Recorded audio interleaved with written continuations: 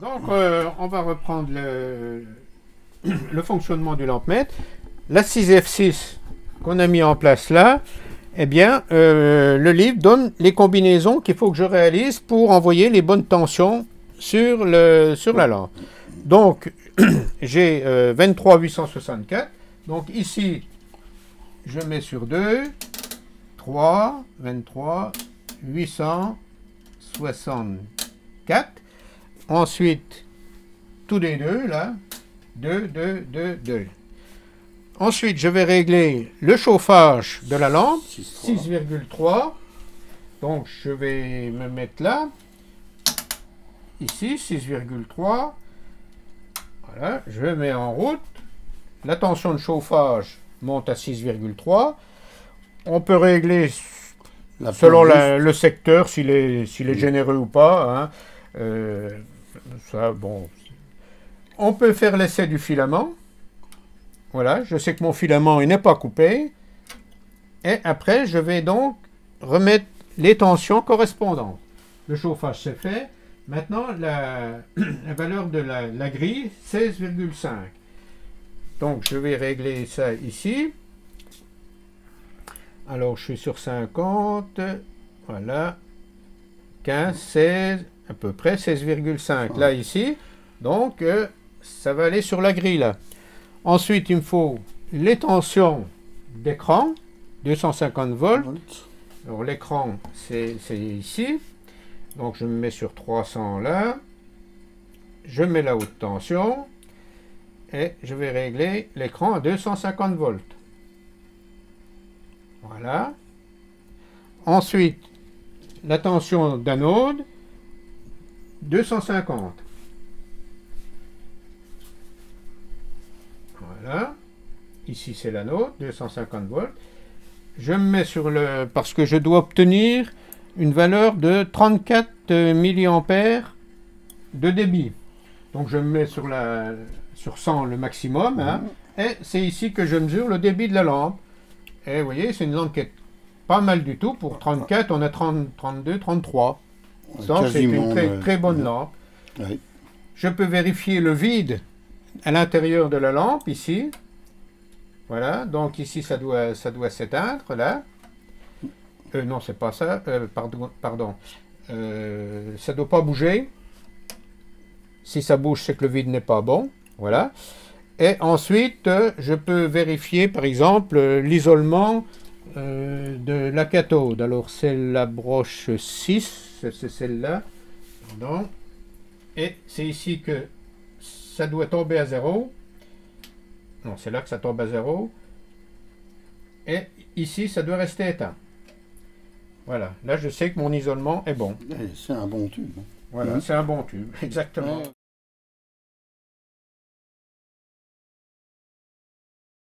Voilà, donc la, suite de sa collection de postes. Voilà, donc euh, euh, voilà par exemple un Stradivox qui était fabriqué dans, à Mirecourt. À Mirecourt euh, par les, luthiers. En 1936, ah euh, euh, il battait, comme on dit, un peu de la grolle au niveau uh-huh. violon, etc.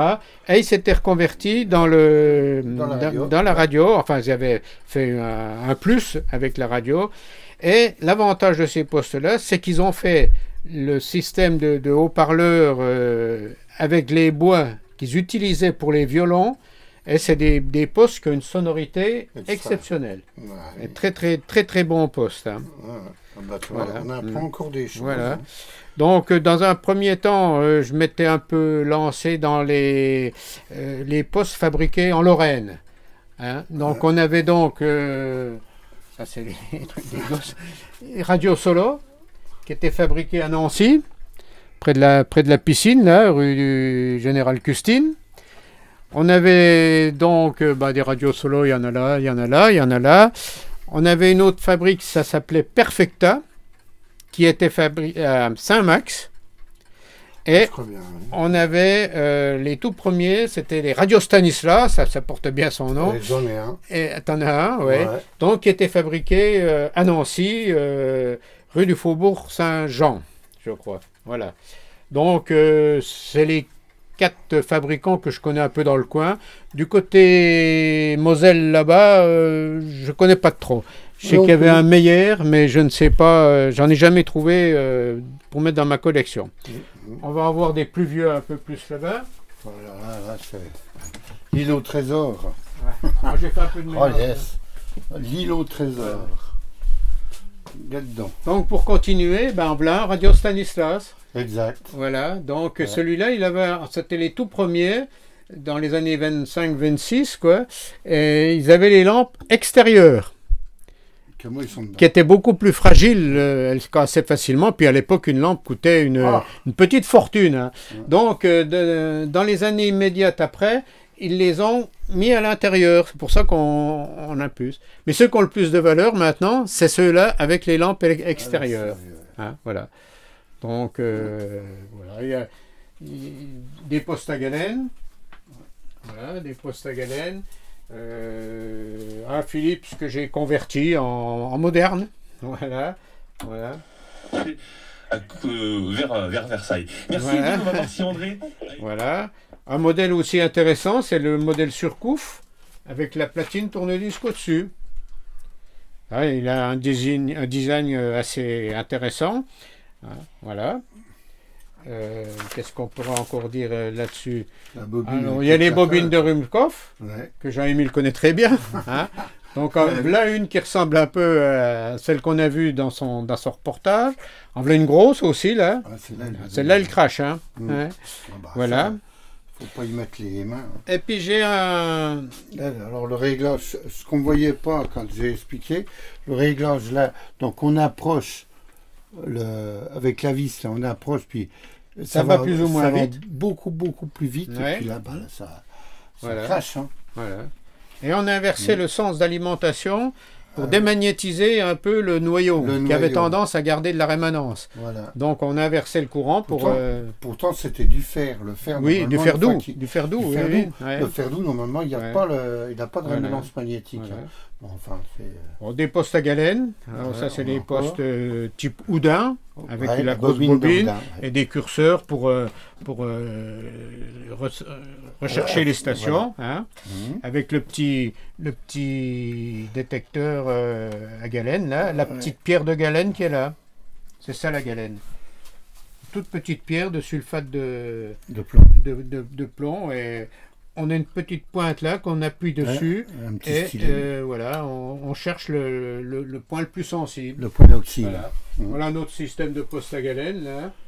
Euh, voilà, donc encore un autre là, un petit, un petit euh, etc. Voilà. Que dire aussi? Ben Ça, c'est un ami bricoleur aussi qui est, qui est très sensible aux émetteurs à étincelles. Voilà. Alors, il adore ça, il en fabrique de toutes sortes, il fabrique tout lui-même. Il a fait ça avec une bobine de, de voiture, ouais. hein, machin, celui-là, là. Et puis ça, c'est le récepteur. C'est le récepteur T'as mis et... quoi C'est un cohéreur ou Oui, oui, oui, c'est un tube à limaille de fer, là. D'accord. Voilà, le, voilà le tube. hein. Et entre les électrodes, vous avez de la limaille de fer. Et quand ils reçoivent les, les ondes, les- la limaille se polarise Ouais. et laisse passer le courant et la petite diode s'allume. T'as pas un, un truc qui tape dessus pour leur allumer Leur mettre à zéro Ah ben il faut, il faut taper dessus. Mais bon, il en a fait, il en a fait d'autres. hein. Il en a fait avec un, un vibreur automatique qui, Voilà. qui frappe dessus. Faut euh, dessus. faut pour, voir. euh, ouais, ouais. Et euh, ce monsieur, il habite à Vendœuvre et il recevait jusqu'au plateau de Brabois. Il allait avec sa voiture avec un poste euh, machin et il entendait. Il avait fait un truc automatique, toc toc toc toc. Et il avait une très bonne portée. On hein. entend de très très loin. Voilà. Alors Voilà. c'est- lui qui a fabriqué ça. Vous voyez, c'est. Il fait tout avec rien. Il a aucun outillage, il fait tout, rien avec une lime, euh, un truc comme ça. Pardon. Regardez les, les belles choses qu'il fait, ça mérite d'être vu. Ça, c'est la Ouais. chapelle de Gérard Cour. Je ne sais pas si vous Non. voyez où ça se trouve. C'est en allant sur, euh, sur Lupcourt. Et il avait fait ce petit poste-là, avec la chapelle en. D'accord. en comment on appelle En ça marqueterie. En marqueterie, voilà. Vous voyez, c'est Ah, oui, pour oui, ça que j'ai mis la photo à côté, Ah, parce que d'accord. il avait fait, il avait fait ça. Je faisais pas la relation entre les postes et l'église. Là, maintenant, je vois. Voilà, voilà la relation, elle est là, tu vois. Voilà. Ouais. Ah, Là, bah, c'est- tiens, le dernier Perfecta que j'ai trouvé à la déchetterie, euh, Bon. il y a une- un mois, même pas, oh non, 15 jours. Puis je me suis amusé à le refaire parce que ça me faisait mal au, au ventre de le voir mourir comme ça. Bah oui. Et je me suis amusé à le refaire. euh, Bon, j'ai pas refait le vernis, c'est son vernis d'origine. J'ai juste refait la calandre un peu, quoi. Mm. Puis un vieux papillon. là. Alors là, un papillon, c'est un modèle assez, assez recherché.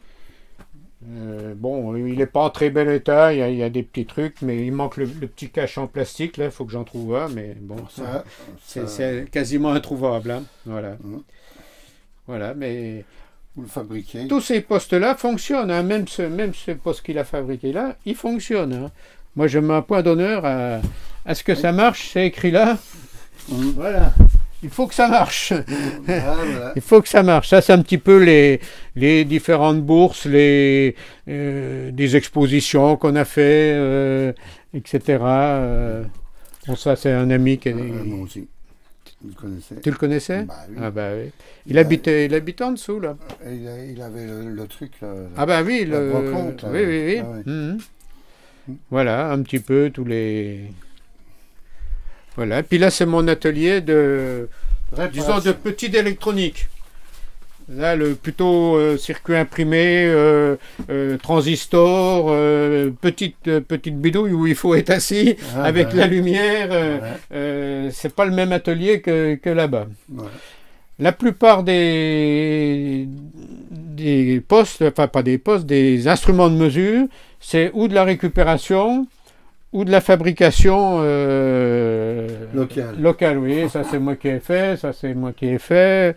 Ça tu dois connaître. Ça, moi, je te l'avais donné. Oui, c'est pour ça que je te dis, tu dois Ouais, connaître. bah. Voilà, bon, euh, euh, tout le petit matériel que, que, que j'ai là-dedans, qui me permet de, de, de bricoler, quoi. Voilà. Voilà. Eh ben, on va te remercier c'est de ta gentillesse, de, ta- de ton accueil, Ah ben, c'est avec de plaisir. tes explications. C'est avec plaisir que j'ai participé à ça. Hmm. Voilà, voilà. Voilà. Hmm. Bien. Eh ben, ma foi, 73 tout le monde, et j'espère que ces vidéos vous auront plu.